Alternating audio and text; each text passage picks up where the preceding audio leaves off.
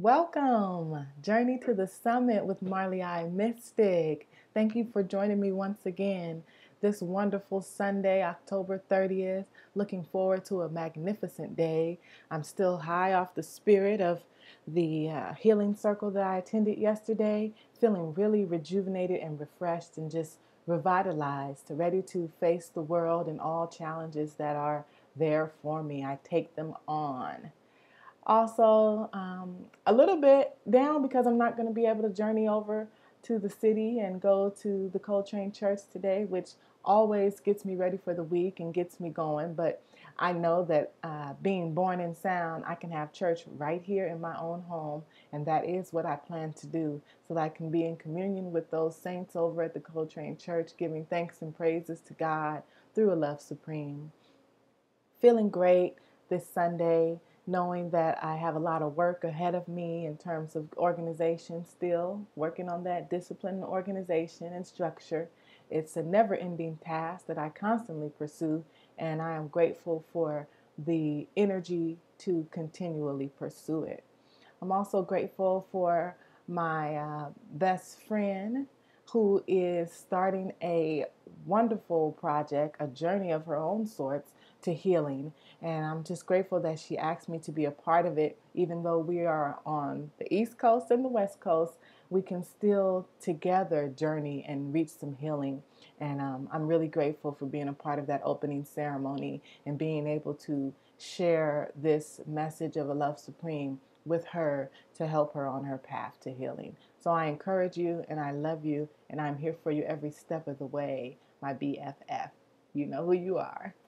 I'm also grateful that this month is almost over and moving into um, a really warm and loving time, even though the weather isn't warm. It is a warm, loving feeling. And I'm really seeing the challenges of 2011 going into 2012 as hope and not as um, these daunting tasks, but actually as these great challenges that will bring forth wonderful aspects into my life and um, just realizations about how wonderful God is and how much work He does every day to ensure that my path is laid out.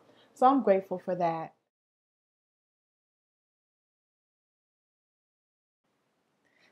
I just wanted to come back this afternoon. I just came back from a lovely walk out in the sun with my two little girls, and it blessed me to just feel the power of the sun and power of God shining down on me.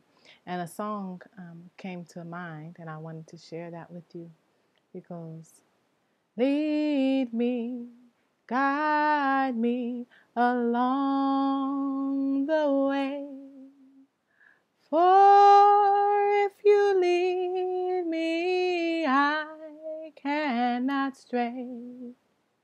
Lord, let me walk each day with thee. Lead me, oh Lord, lead me, lead me. I love that song. I haven't sang it in a long time, but the Spirit just brought it on my heart as I was walking with my two babies. And, you know, that's really the Spirit that I need to have every day that's what I'm journeying on this journey to the summit. I need to be led and guided along the way, knowing that following that path, I cannot go astray.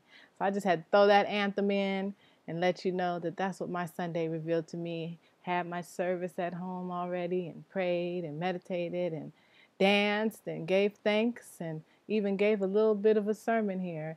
So I am grateful for this Sunday and I'm grateful for you all. Thank you for joining in on the journey to the summit, and I look forward to continuing this path with you each and every day.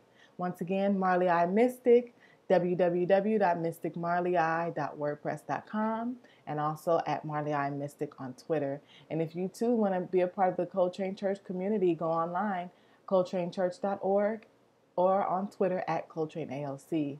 God bless you. A love supreme.